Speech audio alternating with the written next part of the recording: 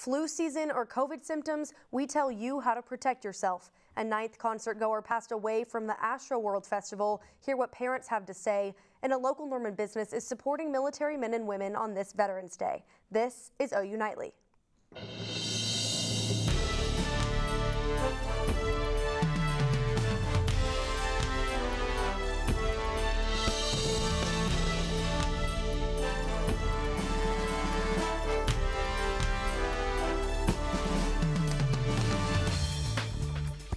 Hello, thanks for joining us for OU Nightly. I'm Alyse Jones. And I'm Kolby Terrell. We begin tonight with flu season approaching quickly. As the weather begins to cool down, many flu cases are being reported on campus. OU Nightly's Kaylee Tingelstad tells us what to do if you start feeling under the weather. The peak of flu season in Oklahoma is typically in January. And this year, OU Chief COVID 19 Officer Dr. Dale Bratzler believes there will be an increase in cases compared to last year. During that peak, we were social distancing. We had shut down a lot of things. We had people working from home. People were wearing masks fairly consistently in all settings. And I think because of that, we didn't see a lot of influenza last year. Although about half of Oklahoma is vaccinated for COVID 19, the same can't be said about the flu. It's not too late to get your flu shot. It typically only takes about 10 days for it to develop. I encourage people to do it now. Do it before Thanksgiving uh, when you're going to be going home and be, being with family because if we start to see flu outbreaks, that's where it's going to spread. Three things to keep in mind this flu season wash your hands, maintain a good cough and sneeze etiquette, and wear your mask.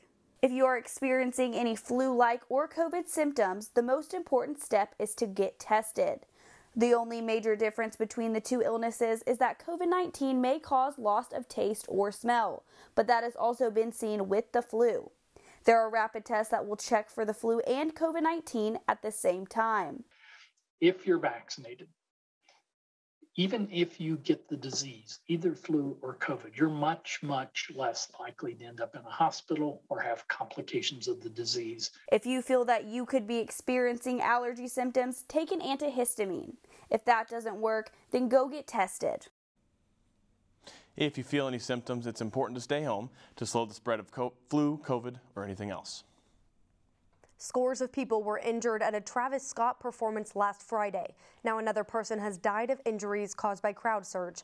Pepper Purpura has that story and the rest of today's headlines from around the world. Thanks, Alyse. Bharti Shahani is the ninth victim of the Astroworld Festival. The 22-year-old student at Texas A&M University was on a ventilator in critical condition before passing away last night. Her mother, along with the families of other victims of the crowd surge, spoke at a press conference. What happened to my blessing now? I, I want my baby back, you know? Dozens of others were injured at the music festival, including a nine-year-old child who remains in a medically induced coma. The trial of Kyle Rittenhouse may come to a close sooner than expected. Rittenhouse is a 17-year-old accused of killing two men and wounding another during civil unrest in Wisconsin. The judge stated it would be ideal to finish the trial by tomorrow before today's testimony. During today's testimony, the use of force expert was called by the defense. The witness stated that the events unfolded within a few minutes in a much shorter time span than the prosecution suggested. The trial is still in session.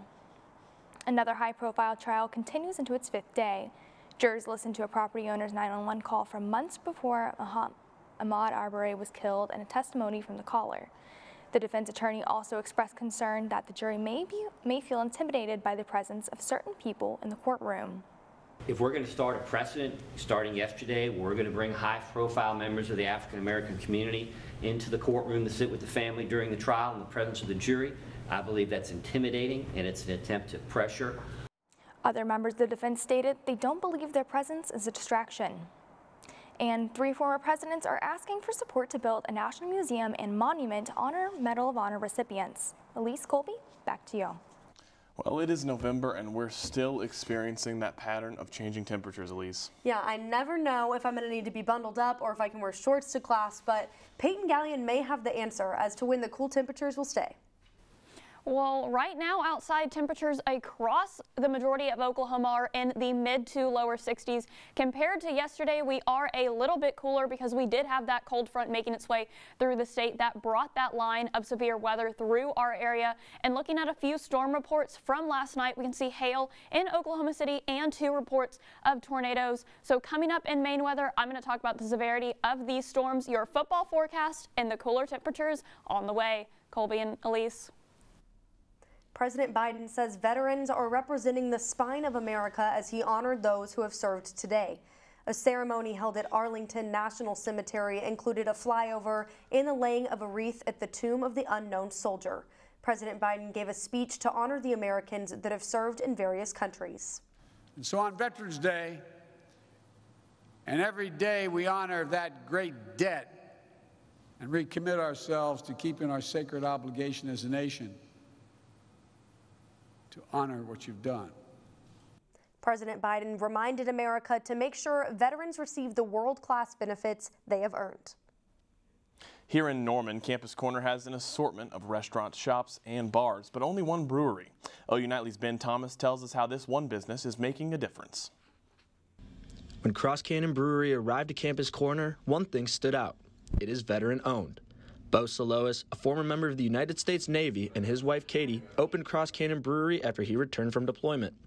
Once he was back, Bo came across the art of brewing beers and has now made a living off of it. Her brother-in-law came in and told me about all these beer kits, how awesome they are. I homebrewed for about eight years, winning various competitions and things of that nature, and so the love of beer just really grew from there. Being veteran owned, Cross Cannon Brewery has become a hotspot for veterans and military personnel along with the Norman community and has been able to give vets a place to work or simply come hang out and grab a drink. Uh, we stumbled upon a couple of us that are veterans and, you know, we all went here to OU. We uh, stumbled upon the bar and sitting here with a couple friends and I asked them, hey, do you need help?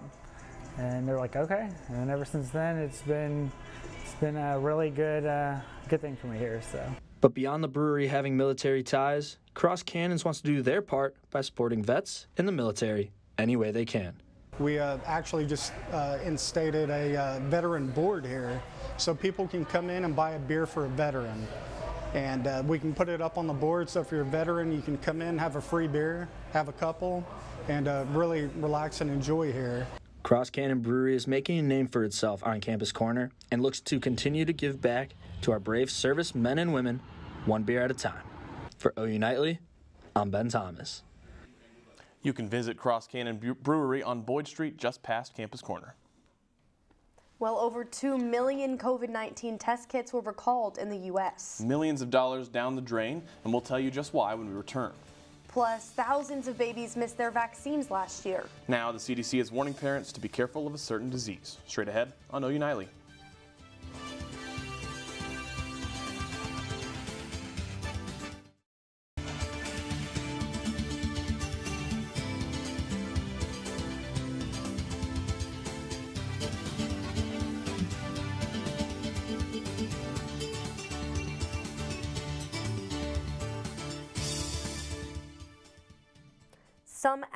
Coronavirus test kits have been recalled due to false positive results.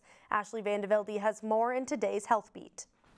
Thanks, Kolby and Alyse. More than 2 million coronavirus at-home test kits from the brand Ellume were recalled due to false positive results. Regulators say false positives could lead to a delayed diagnosis or treatment of the actual cause of illness. There have been 35 reports of false positives. The FDA says the reliability of negative test results is not affected. In February, the Biden administration awarded nearly $232 million to Ellume to produce its at-home tests. Vaccinations for kids ages 5 to 11 are ramping up, but other threats loom. Vaccinations for COVID-19 aren't the only immunizations doctors are concerned about as measles increases its threat. The CDC reports 22 million babies worldwide missed their vaccinations last year during the pandemic, worsening, worsening the global threat of measles. Meanwhile, there was a more than 6% spike in COVID-19 cases in children this past week compared to the week before. And if you've ever been on social media scrolling only to look at the clock and realize you've spent way too much time on the app, you're not alone. Instagram is testing a new feature meant to help people take control of their time. Head of Instagram Adam Mosseri says the feature is called Take a Break and set to launch in December. It reminds people when they have spent a long time on Instagram, users must opt in and choose how long their browsing limit is before an alarm rings. I know this feature will come in handy for me. Kolby, Alyse, back to you at the desk. One local library is honoring a lost loved one. Find out how they're commemorating their coworker and friend when we come back. Plus, if you're heading to Waco this weekend, Peyton will tell you the forecast for the game. Peyton? I'll have the latest football forecast for Waco, and as the sun begins to set tonight, those cooler temperatures are right around the corner. Stay right here with OU Nightly for the latest on that.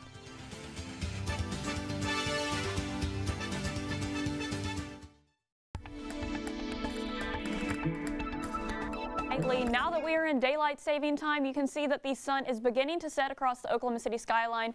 Clear skies, Temperatures at 62 degrees with a relatively light wind and a very low dew point compared to yesterday with those storms coming in. For the rest of the metro, mid and lower 60s, and for the rest of the state, the same can be said as well. A little bit warmer down in Lawton, but the good majority of the state is staying right on track with those 60s. And last night when we had those severe storms make its way through the area, they came through about Norman around 7, 8 o'clock. And this line, although it does look severe, we didn't really have as many effects here in Norman as other parts of the state. But this line did move out of the state of Oklahoma and out of our viewing area late last night and early this morning. It left behind a trail of some hail and a few tornadoes, one reported here in Tulsa and one reported down in Stephen County. North OKC towards the Edmond area did have lots of reports of some hail. And the two tornadoes that were reported yesterday did increase our average for this time of year. We are now above average. We now have recorded 58 tornadoes here in Oklahoma for the year. There is still a month and a half left of the year, and October really set us above with those 31 reported tornadoes. But for your Veterans Day forecast, 63 here in Norman, 62 in Oklahoma City, Tulsa 62 degrees, a relatively lovely day, clear skies, not a cloud in the sky. And if you are heading down to Waco, for the game this weekend. Kickoff, it will be at 11 a.m., a little chilly at 50s in the mid 50s, but as the game goes throughout, temperatures will warm up another clear sky as we take on the Baylor Bears. And as we go into next week, we are going to see a little bit chance of some cooler temperatures going into this weekend. You can see this big trough dumping some cold air into Norman. This is going to stick around into the morning hours throughout the weekend. But as we go into next week, we are going to warm up with these warmer um, colors coming into the state of Oklahoma. But for the rest of your week, your Friday, we are going to cool down a bit, a little bit windy, and Saturday, we have sunny skies for the football. So get outside, watch the game with some friends, and going into next week, Monday 65, but Tuesday and a Wednesday, we warm back into the 70s before another cool front is expected to make its way through the area. Into Thursday, you see that 56 degrees and that 47 for the low. So Kolby and Alyse, these temperatures are once again fluctuating, but you can lose that jacket for the time being. Back to you. Many have lost friends, family, and even colleagues to COVID-19, and the Norman Public Library is no exception. Celinda Richardson Martin worked as a customer experience manager at the Norman Public Library for over 15 years. She helped customers outside of just finding a book, and colleagues say not a day went by she didn't leave a positive impact on them and the community. Employees felt the best way to honor her was through an art piece of over 2,000 origami cranes, donated by her family members and employees from all libraries in the area her husband said it great. If you just try a little bit, you can make a big difference in the world.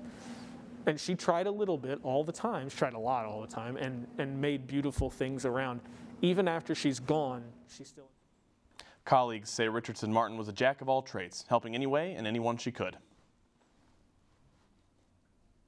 Well, another day in Norman and another award. Caleb Williams is racking them up even with the late start to the season. That nominations, that is. Stone Webber is here to tell us which one he's up for this time. Stone? Superman continues to impress. The Thunder win their third game in a row, and two dunks you don't want to miss. Sports is next.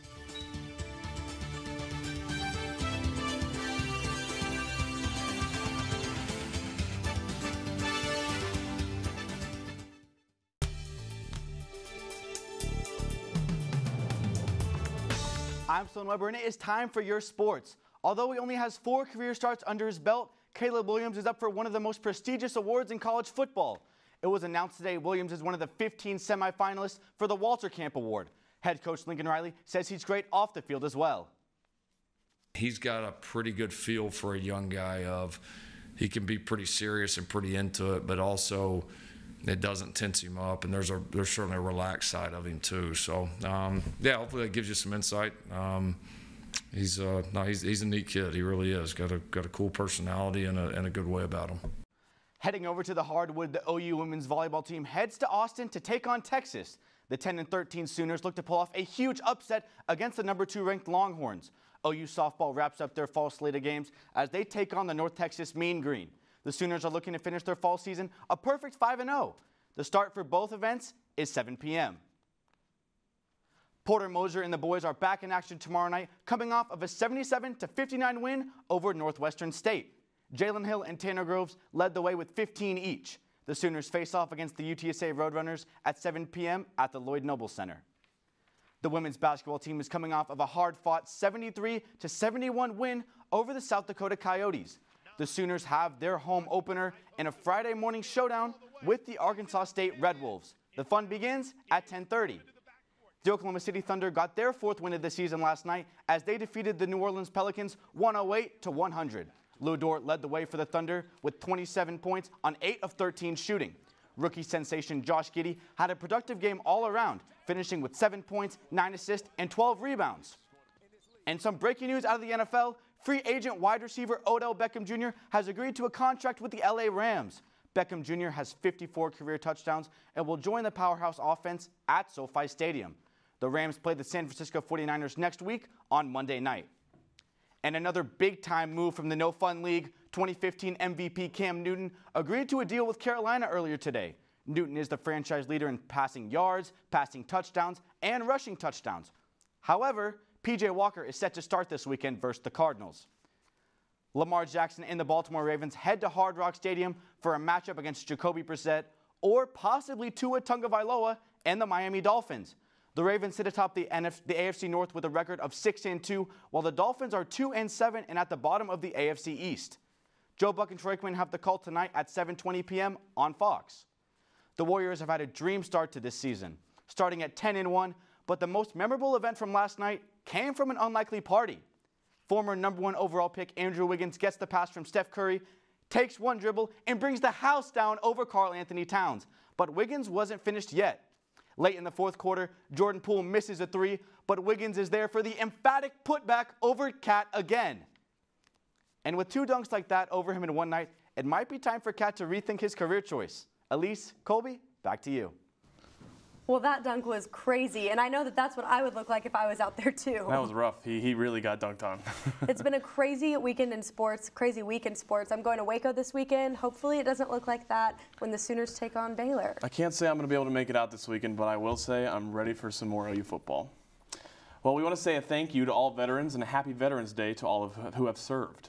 We're going to tell you one way that the veterans are being honored by a major company straight ahead on OU Nightly.